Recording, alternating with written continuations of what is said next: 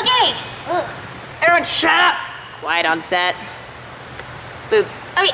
Okay. Mm. Uh.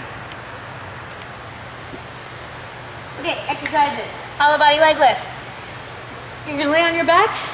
Note how there is space between your lower back and the floor because butts.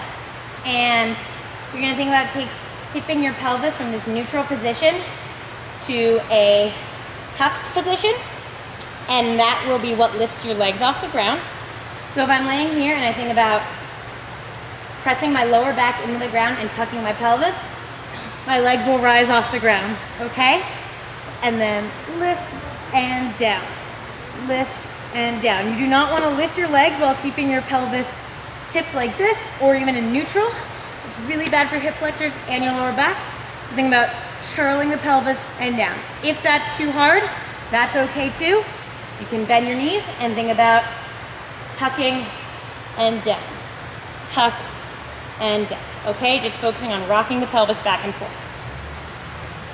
Then a tension bridge is you make your way to a plank and walk your hands out in front of you until you are like this. And you hold. You don't arch your back. Arching your back would make it really hard to hold yourself up. So if it if that's too difficult, that is okay too. You can do the same thing with your knees on the ground and your hands extended. Same situation. Just really thinking about keeping that pelvis tucked and your lower back hollowed out. Glute bridge, I'm sure you've done these before, I'm sure you've seen them online. Feet by your hips, and lift, lower, lift, lower. Group two is a cat-cow warm-up. So you'll make your way to your hands and your knees, and you'll start to warm up your spine by arching and curling and arch, curl. You'll do that some to get some warmth.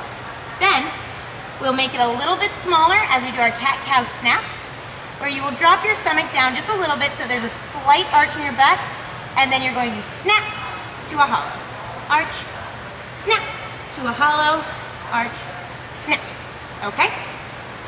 Then we have cobra kicks. Now, I'm gonna do these without a mat, um, but you will probably want a mat for these. You're gonna make your way to a cobra position. You're gonna bend your knees, maybe in a slight arch position. You'll then kick your toes down and hollow out your body all at once into this position. Down, hollow, up, hollow, okay? Those are the cobra kicks.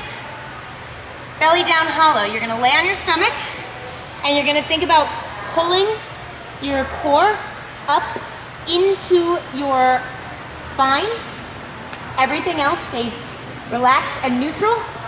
Just lay on the ground, your legs together, and pull your stomach up towards your spine, lifting your ribs and iliac crest the bony parts of your hip, off the ground without squeezing your butt, without engaging your lower back, just pulling with your core and release.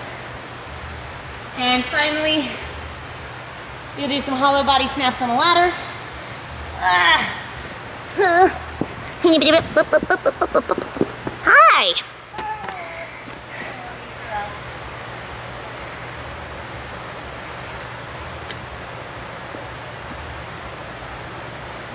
Find the part of the ladder you can hang on. Find that nice arched body position and then hollow out and and hollow and hollow and down. I'm not kicking my legs. Conditioning. Cool.